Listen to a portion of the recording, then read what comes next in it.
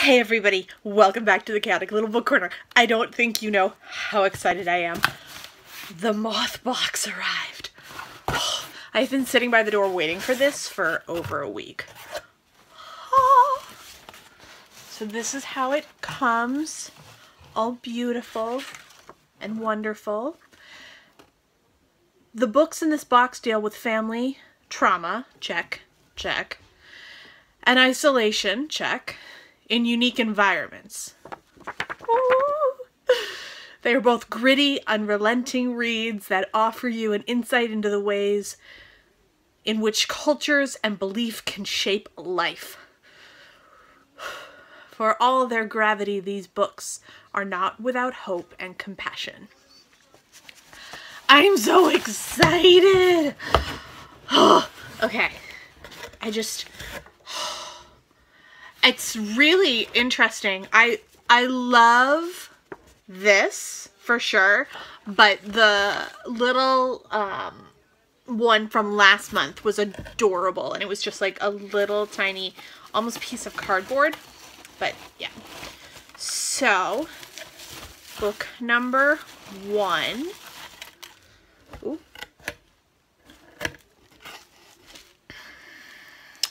And they come with a little bookmark that says Mothbox, which I love.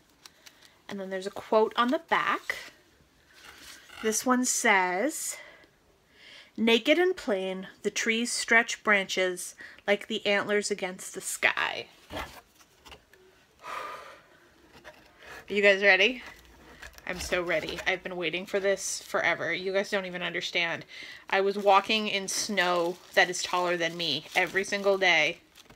Well, not through the snow, but like past snowbanks every single day in like 20 degree weather down to our mailbox to check the mail to see if these were there because it's just been like this obsession of mine as to when they were going to arrive. I do love this color. This is gorgeous. Okay.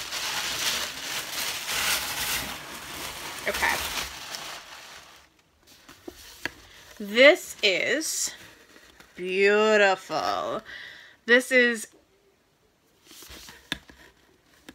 Amy Espeseth, Sufficient Grace. Ruth and her cousin, Naomi, Naomi, Ruth and her cousin Naomi live in a rural Wisconsin part of an isolated, isolated religious community. Oh, hooray. The girls' lives are ruled by rhythms of natures and harsh winters and hunting seasons and harvesting crops and their families' beliefs. Beneath the surface of the, of the closed, frozen world, hidden dangers lurk. I'm so excited. This I will probably be getting today, not gonna lie. And then here is the second book. Here's this one. This quote is, they see a ball of flames moving towards them, an orange silk lantern floating in the air. Doo-doo-doo.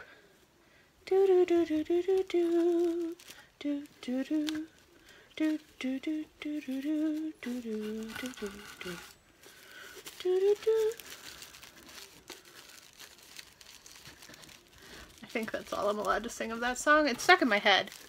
Masquerade from Phantom of the Opera. But I think that if I hum any more, I'll be in copyright infringement.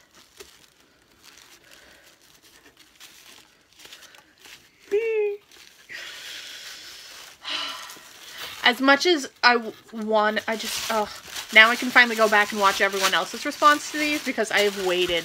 I have not watched a single unboxing of Mothbox. And I was so proud of myself for that. Ooh, cover. What are you? The Handsworth Time by Sharon Duggal.